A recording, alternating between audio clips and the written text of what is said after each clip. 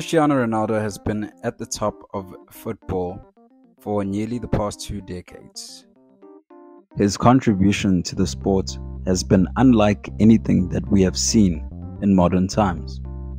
The Portuguese superstar is arguably one of the greatest players ever to play the game of football. CR7 has achieved everything that there is to achieve at club level including five Champions Leagues and five Ballon d'Or wins. First Ballon d'Or win coming in 2008 when he was awarded the Ballon d'Or. Since then, he went on to become the most expensive player in history at the time, signing from Manchester United to Real Madrid for a world record breaking fee of 80 million euros. The Portuguese superstar also went on to make history, becoming the first man to win three of Europe's major leagues the Serie A title, the La Liga title, and the Premier League, becoming a champion in three of those countries. The 37 year old forward began his career at Sporting Lisbon, but found his success at Manchester United, rising to the top and introducing himself to the footballing world. He had big shoes to fill, left from David Beckham, who was being moved on by Sir Alex Ferguson, and Sir Alex Ferguson decided to take the risk and give him the iconic number 7 jersey at Manchester United. Many had their doubts about the skinny Portuguese kid who came from obscurity and relatively unknown parts of the world. The island of Madeira, which is an island that is part of Portugal but is not connected to mainland Portugal. As we reflect and look back on history now, we see that the skinny Portuguese kid proved us all wrong, cementing his place in history becoming a legend in the game, the top goal scorer of all time, and an icon in the game of football. It is an undisputed fact that the one club that showed him the most unconditional love and support, no matter what, has always been Manchester United. The Old Trafford fans have always had a strong love affair for their Portuguese star. This is where he became a man from a boy. Fans, crowds, and audiences got to witness the journey right before their very own eyes, watching a boy evolve into a beast of a goal scorer and a machine on the pitch. As we have seen a few years ago, Cristiano found himself in some really bad form and he was actually booed at the Santiago Bernabeu by his own Madrid fans. If you ask many Juventus fans, they will let you know that there are some mixed feelings when thinking about Cristiano's time. He did achieve, however, he did not achieve everything that was promised initially when he had signed for 100 million euros in 2018. He also left a bad taste in the mouths of many Juventus fans, leaving on the final deadline day of the transfer window and leaving the club scrambling. Many believed that Cristiano Ronaldo would be the difference and finally get them the Champions League that they were yearning so long for. This was how this big money signing was justified and marketed, but as we all know, Unfortunately, he was unable. The first club Cristiano ever won a Champions League with was with Manchester United in 2008.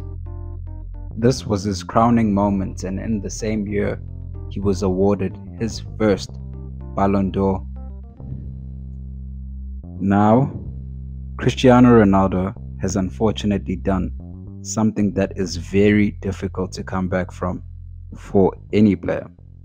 He has been causing chaos, drama, and instability at Manchester United for the past few months. Pulling a similar stunt that he had just previously done when he left Juventus, demanding to leave abruptly, also leaving a match at halftime that was being played during a preseason friendly.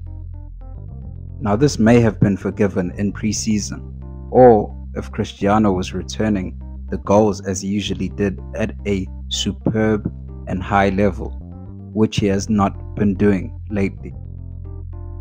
But a few weeks ago, Cristiano Ronaldo has gone on to do a similar thing, except now it has been received with way more backlash and there has been way more spotlight. During a Premier League match against Tottenham Hotspur, he refused to be put on and come on the field as a substitute by manager Ten Hag. He angrily stormed off and walked down the tunnel and refused to come out and watch the rest of the match and watch his team win. Manchester United winning 2 0 against Tottenham Hotspur. This was a home game and happened in front of the Manchester United fans were at Old Trafford that evening. Manager Ten Hag went on to say that he will deal with the situation and promptly dropped him for the next match. As we have seen in the last few days following the action that Cristiano took, many die-hard and loyal Manchester United fans that have always stood by Ronaldo no matter what have finally had their breaking points with the Portuguese forward.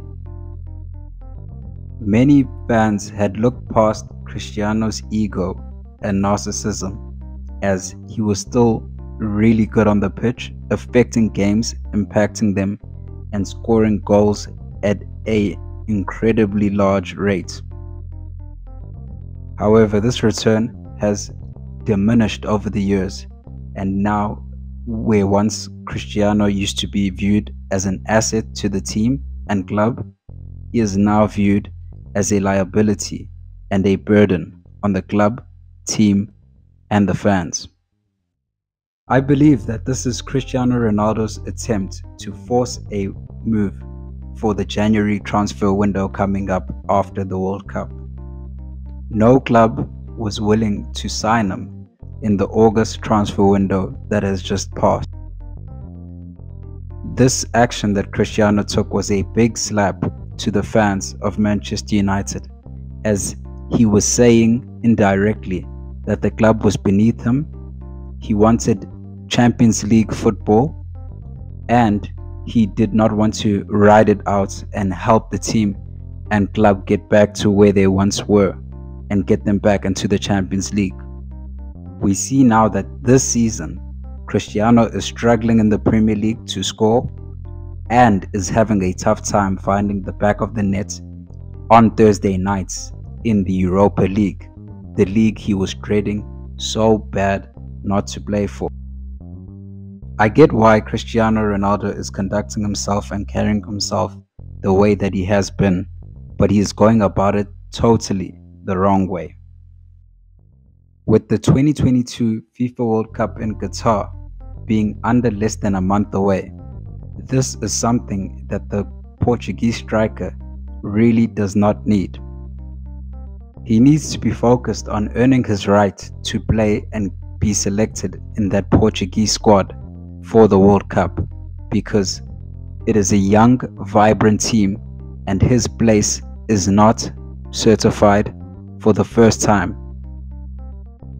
The FIFA World Cup is also the one trophy that is missing from Cristiano Ronaldo's illustrious trophy cabinet, and he needs to focus on winning that. Otherwise, many believe that he will not be or cannot be considered the greatest football player. This is also a bad look on Ronaldo, as any big potential club that was looking out to sign him will surely not want to sign him now. You are going to be burdened with a headache, an aging player that is no longer as mobile as he once was, and he will disrupt any chemistry that is going on in the changing room, the dressing room, and on the pitch with the players. Even if Ronaldo was professional and carrying himself the way he should be as a 37 year old man, it would still be difficult for him to find a new club with the wages and salary that he demands 500,000 euros a week, or even half of that at 250,000 euros. Many clubs feel that at the stage of his career, the juice is not worth the squeeze, and you definitely decrease enormously the amount of clubs that are willing to take you on when all you are bringing is no goals, no assists, no contribution on the pitch, but negative contributions off the pitch. With that being said, this is why I believe Cristiano Ronaldo's career at the top of football is officially over. His next move, wherever it might be, will definitely not be at one of the biggest clubs in the world as many clubs can simply not afford what he is demanding and do not want to be burdened with the headache, turmoil, drama, and chaos that Cristiano Ronaldo brings to a club. Potential moves that he might pursue are in the MLS, which is the American Soccer League, and the Saudi Arabian Football League.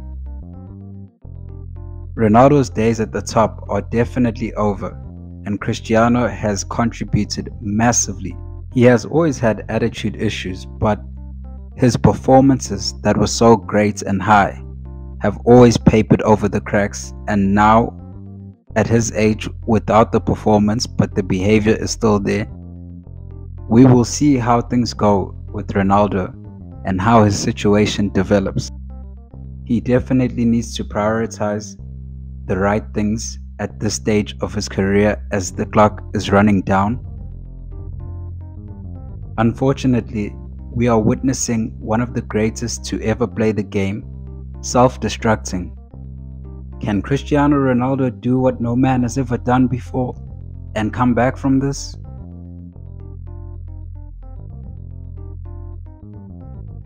Thank you very much guys for watching the video. I hope you enjoyed it.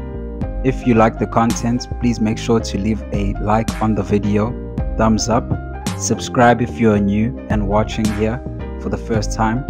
Join our community here at the South Central, and I wish you guys nothing but the best. Thank you very much. One love, and I'll see you next time.